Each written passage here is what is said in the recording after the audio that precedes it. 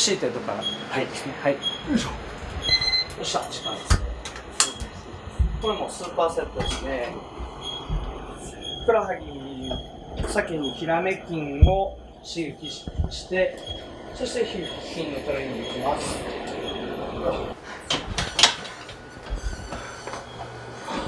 さあ集中しましょう。はい。いきますよ。それほいほらいけあさあほい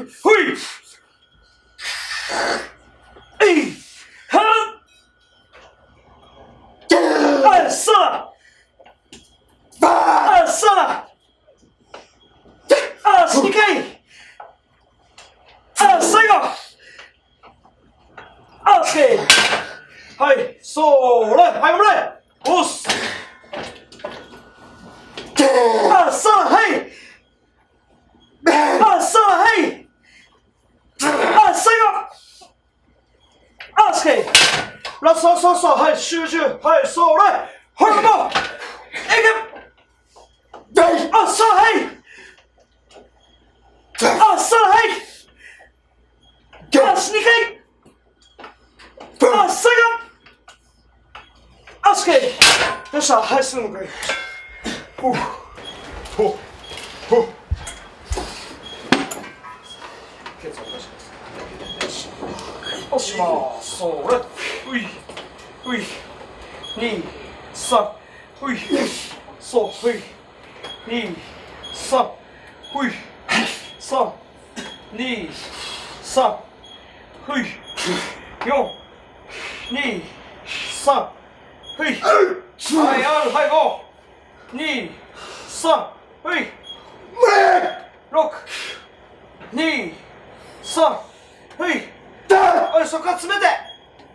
ああさあ2回行こう2 3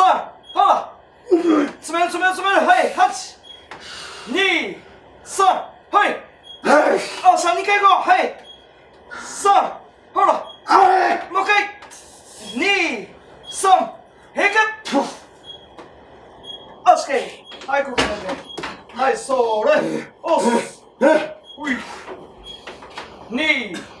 3うい二、二、三、ほい、三、二、三、ほら、発射見つけ、はい、そう、はい、二回、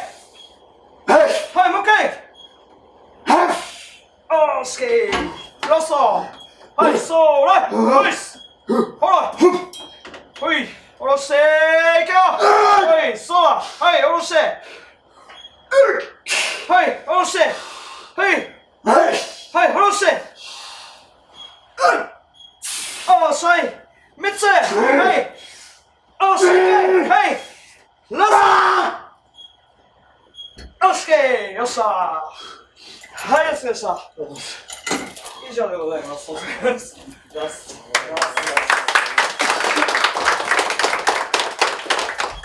多分ね、トレーニングして拍手もらうの初めて。自分のためにやってますからね。お疲れ様でした。ありがとうございます。はい。じゃあ、奥行きましょうか。奥行って。あの、上野選手は、あの、呼吸整ったら戻ってくるので、で、直接聞きたいことを選手、選手というか、実際ね、トレーニングした人に聞きたいこともあるかと思うんですけど、なんか質問あったら、あの、聞きますけど、なんかないですか？言葉出ないな言葉出ないですかな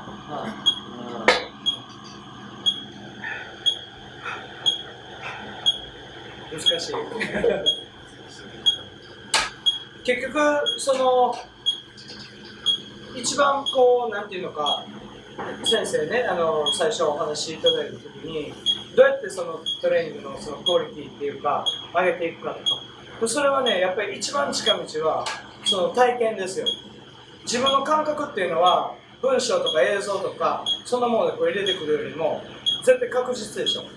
だからその体験することによってそこまでできるっていうのも自分ではっきりと分かりますから。だからそれがトレーニングのパート別の部分であったとしてもだから、あのー結構遠くからねあの来てくれる方とかもいて沖縄から来るとかそれか、まあ、関東の方とかもなんかこのために来るとか嘘かもしれへんけど 本当はなんかあの USJ とか行くついでに来てるかもしれへんけどあの来てくれる人とかもいてでそういう人たちがあの1日しかトレーニングできないんですって言ったらあの僕は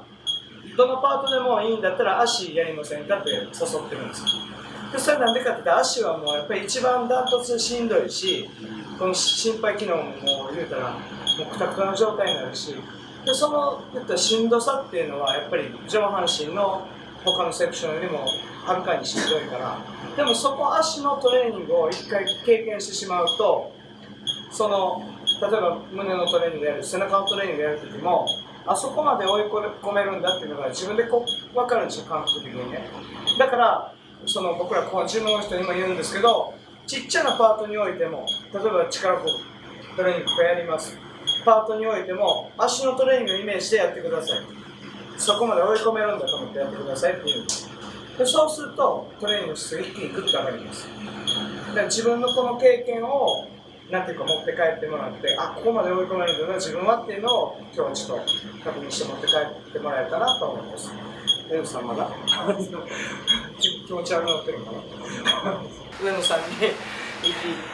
はい無事正解しました。上野さんに。何かありませんか、はい質問ないですか？あじゃあ、はい。さっきのなんていうか、今日のトレーニングの成功っていうあれなんですか？成功だと思います。すごい自分の中ではね、はい。そう何点ぐらいか聞いてみたい何年ぐらいですか今日は120点だと思います。多分ね、今日の良かった本人の韓国 D の要因っていうのはみんなが見てるからっていう力があると思うんですね。やっぱりね、その引き出されるものってものすごく大きくて、であの僕の知ってるパワーリフティングのすごい強いチームなんかは、そのみんながこう取り囲んでね、その頑張って追い込むセットのところなんかは応援したりとかしてますよ。なんかそうなんてこういう個人スポーツの中であんまり見ない光景に思えるけどだけどそういうのもあのものすごく力になりますね。今日はちょっとなんかこういう形でお呼ばれしてるんですけど、こう皆さんがに見られてると思いたかったからというか、思いたかったちょっとその足のトレーニングの強度を上げたかったなっていう気持ちがあって、たくさんの腕がある中で、あえて足をやらせてもらいました。なるほど。おかげでスムーズにトレーニングができたみんなのために今日一肌脱いだと思ったら自分のためにやってたんやそういうことでしたね。いやこういうねこういうのがいいんですよ。本当にね。結果要は言うたら自分のためにやってることですから。だからそれも全部エネルギープラスにしてしまうような発想の転換というかねそれができればトレーニングのクオリティをどんどん上げれるかなと思います。他質問ないですか？はい。どうぞ。ベストパフォーマンスをするにおいて、どういうメンタル作りをしてるんですか？そうですね、えっ、と、まあ、前回のトレーニングをちょっとでも超えれるものが得られればいいかなと。なんか前回10回だったものが、1種目だけでも11回できたら、それはそれでやったったモチベーションになりますし、そこがまあ、短いそのモチベーションにはなります。で、あとは、こう割と長期的な話で言うと、私がここにお世話になったのは1年半くらいだと思うんですけど、まあ、それまでの間に体が大きくなった感じがあるので、これを続ければ大きくなるなっていう感覚が毎回あるので、まあ、それがよりあの長期的なモチベーションにはなってると思います。振動や振動ほど大きくなるというふうに信じてやることがモチベーションになります。目標設定についてね、その短期的な目標っていうのも、やっぱりそのトレーニングノートとかレコードを取ることによって、しかもちゃんと回数を確認してからトレーニングやってますね。だからそういうこう地道なコツコツした、そういったことがこうつながっていくっていうことと、で中長期的なところで言うと、ちゃんとフィードバックがちゃんとできてるかどうか、自分の発達っていうのを、なんていうかこう、客観的にこうね、あの見ることができるかどうかですね。結構ね、やってる人ってあんまり変わってないとかっていう人がいるんですよ。で、もしね、1年も2年もトレーニングやってて、何も変わってないとか全然進化がないとかって言ってる人よくジムで言いますよね。でもそれは何のために来てるのって話を思わない。だから体を大きくするために体を変化させるためにトレーニングしてるんだったら効果がないとダメなんですよ。効果がないっていうのは何か絶対に理由があるんですその理由を突き詰めていくと答えはすぐに出てきます。さっき言ったところトレーニングの強度が低すぎるのか頻度のが頻度が高すぎる。逆にまた頻度が低すぎるね。でまた休息の質がどうかそれから栄養の状態、ね、これがちゃんと材料が入ってきてリカバリーできるような状況が生まれてるのかどうかというところをちゃんとこう考えていければあの進化するこう要素っていうのはどんどんどんどん揃っていくのかな他の要因もいっぱいありますけど今パッと思いついてる考えるところはそこかなと思います。他どうですか？ないですか？はい。どうぞどうぞすみません、あの筋トレする時間なんですけど、やっぱ朝とかだとなんかいいですかね。トレーニングをやるタイミング。そのねもう朝しかできない人もいたらその昼し昼っていうかね午後からしかできない人もやっぱりいるわけで。ねそれはやっぱり自分の置かれてる環境でベストの状況を作るっていうのがいいですよあの何が言いたいかっていうとそうなんですよ。だから活動のやっぱり朝っていうのはあのすごく今から活動できる時間帯があるんだけど、えーとね、もし朝にトレーニングするんだったらその覚醒のレベルどどこまで上げれるかね。だから脳がはっきりとこう動き出してない状況で運動してもその運動っていうのはハイパフォパフォーマンスはできないんです。そんなんもねあの調べていって面白いよ一番こう覚醒させるのに簡単なのは太陽光を浴びてそのなんていうのかな散歩したいのそそれだけでも覚醒する。だから部屋の中でじっとしてて集中力高めてるより外歩き回りながらももしかしたらいいかもしれない。朝起きて目覚まさにシャワー浴びるうん、そそんなんも覚醒の一つの手段やけど光はその太陽光ってものすごく強いからそれをこう浴びるっていうのはものすごくあ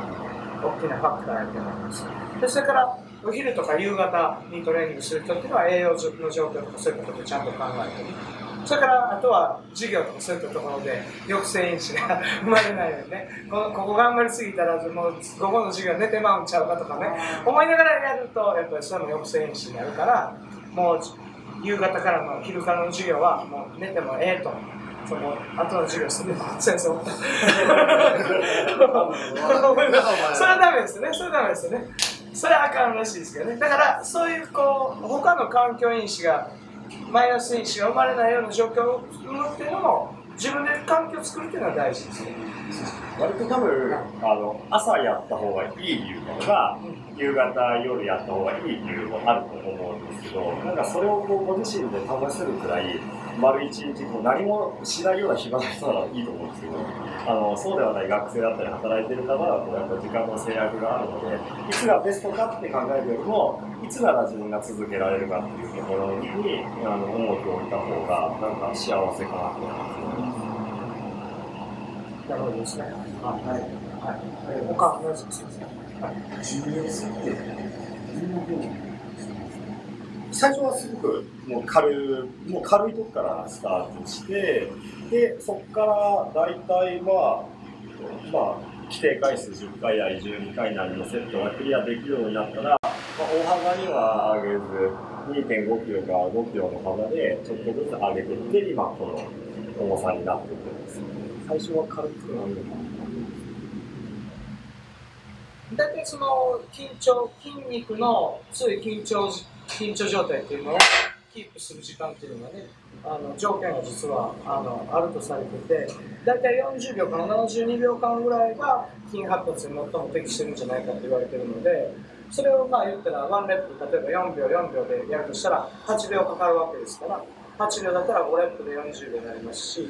9レップで72秒ですから5レップから9レップやると4秒4秒で種目だったらその範囲の中に収まるっていうことです。でそこを超えたらあの重量ウェイトストック上げていただいて。でさっき12回とかそういう回数言われても10回12回っていうのはあのフリーウェイトなんかの場合ですね。そうすると4秒1秒になったりとか4秒2秒とかになったりとかするのでそれまああのワンレップでかかる時間をあの単純にかけてもらって40秒から72秒で、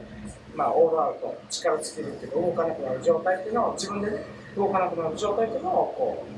うやってもらったらいいかなと思います、というところですね。他はないですか？大丈夫ですか？はい。それじゃあ、えっ、と、誰から行きましょうか？誰から行きましょう。はい。先生からいきますか？はい。はい、じゃあね、二人、えっ、と、同じ部位、胸肩散歩を先生されるんで、胸肩散歩をされる方を、もうもう一組、ワンペア。あ、もうワンペアで、もう一人。はい。これって、誰、胸肩散歩やる人いる？一緒にやりますか？はい。じゃあ、ちょっと。いや、行きましょう。